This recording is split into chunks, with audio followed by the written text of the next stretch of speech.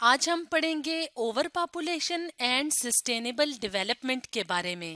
तो सबसे पहले हम बात करते हैं ओवर पॉपुलेशन की। तो ओवर पॉपुलेशन का क्या मतलब होता है? ओवर पॉपुलेशन का मतलब होता है किसी भी जगह की जब पॉपुलेशन बहुत ज़्यादा हो जाए तो उसको ओवर पॉपुलेशन कहा जाता है। यानी अगर कोई एरिया है या कोई कंट्री है या कोई खास रीजन है तो वहाँ की कैरियंग कैपेसिटी से ज़्यादा वहाँ पे अगर आबादी हो जाती है तो उसको ओवर पॉपुलेशन कहा जाता है। और अगर हम बात करें सस्टेनेबल डेवलपमेंट की तो सस्टेनेबल डेवलपमेंट का मतलब होता है ऐसी इकोनॉमिक डेवलपमेंट जो कि नेचुरल रिसोर्सेज को डिप्लीट किए बगैर हासिल की जाए। डिप्लीट का मतलब होता है ख़त्म करना, यानी इतना कम कर देना कि वो चीज़ ख़त्म हो जाए। नेचुरल रिसोर्सेज किसे कहते हैं? हमारे जो कुदरती वसाइल होते हैं। जैसे कि प्लांट्स एनिमल्स इसके अलावा पानी, इसके अलावा जो मादनियात होती हैं, जो ज़मीन के अंदर होती हैं मिनरल्स वगैरह, के अलावा फोसल फ्यूल्स वगैरह जो होते हैं, जैसे पेट्रोल वगैरह, ये सारे जो चीज़ें होती हैं, ये नेचुरल रिसोर्सेज कहलाते हैं, यानी कुदरती वसाइल तो सस्टेनेबल डेवलपमेंट में क्या होता है कि इन कुदरती वसाइल को ख़त्म किए बगैर इकोनॉमिक डेवलपमेंट का प्रोसेस करना, यानी इस तरह की स्ट्रेटेजी अपनाना जिससे आज की जरूरियात तो पूरी हों, यानी रिसोर्सेज को इस्तेमाल करके आज की जरूरियात इंसान की पूरी करना, लेकिन इन रिसोर्सेज का ऐसा इस्तेमाल ना किया जाए जिससे कि ये रिसोर्सेज खत्म हो जाएँ, ताकि आने वाले दिनों के लिए, आने वाले सालों के लिए यही नेचुरल रिसोर्सेज या यही जो कुदरती वसाइल होते हैं वो इंसानों के काम आ सकें। तो इसको कहा जाता है सस्टेनेबल डेवलपमेंट अब हम अगर बात करें कि ओवर पॉपुलेशन और सस्टेनेबल डेवलपमेंट का आपस में क्या लिंक होता है तो जैसे कि हमने वीडियो के स्टार्ट में बताया कि ओवर पॉपुलेशन का मतलब होता है जब किसी जगह की पॉपुलेशन बहुत हाई हो जाती है। उस बात का, इस बात का ये मतलब है कि किसी एरिया किसी जगह पे अगर पॉपुलेशन वहाँ की कैरिंग कैपेसिटी से ज़्यादा हो जाए तो ऑटोमेटिकली वहाँ के जो नेचुरल रिसोर्सेज होंगे तो वो ख़त्म होना शुरू हो जाएँगे। या वो कम होना शुरू हो जाएँगे। तो इसका मतलब है कि जो ओवर पॉपुलेशन है, उसका नेगेटिव इफ़ेक्ट होता है सस्टेनेबल डेवलपमेंट के ऊपर।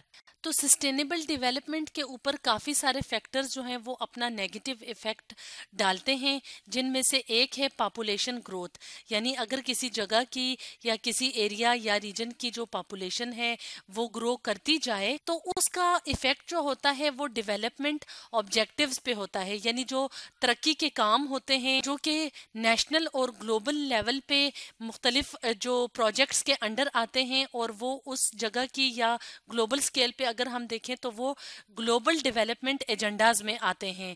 तो अगर बाकी फैक्टर्स की तरह अगर उस जगह की पॉपुलेशन भी ग्रो करती जाए तो उसका इफ़ेक्ट होगा नेशनल और ग्लोबल डेवलपमेंट एजेंडाज पे। तो पॉपुलेशन ग्रोथ का इफ़ेक्ट होगा मुख्तलिफ़ फैक्टर्स पे, जैसे कि कंजम्पशन होती है, यानी जो अशिया, जो रिसोर्स इस्तेमाल होते हैं, उस पर अफेक्ट होगा।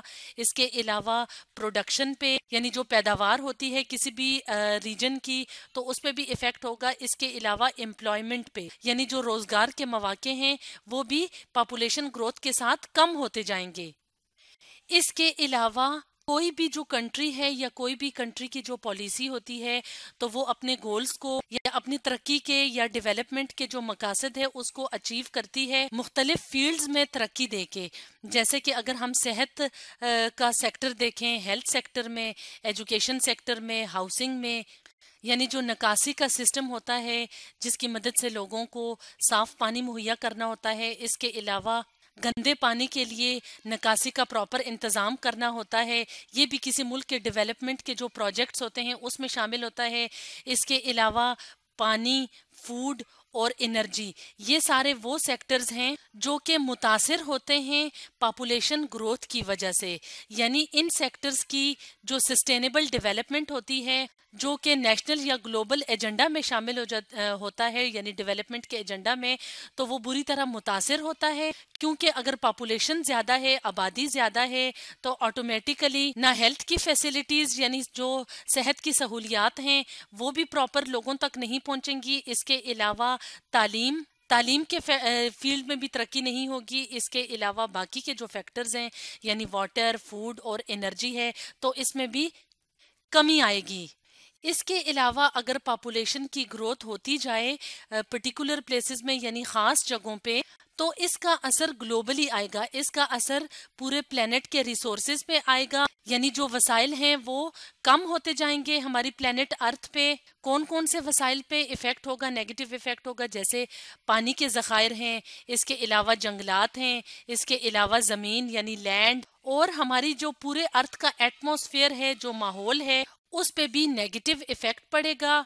यानी ओवरऑल जो क्लाइमेट है, वो चेंज हो सकता है। इसके अलावा हमारी जो एनवायरनमेंट की सस्टेनेबिलिटी है, यानी हमारा जो माहौल है, उसका जो बरकरार रहना है, उसका जो सस्टेन रहना होता है तो वो भी खतरे में पड़ जाएगा।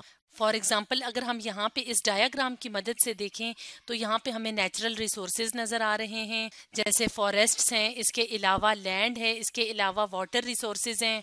इसके अलावा हमारा जो नेचुरल इन्वायरमेंट है तो जो पॉपुलेशन है, उसकी ग्रोथ का हमारे इन सारे रिसोर्स पे ग्लोबली असर पड़ेगा।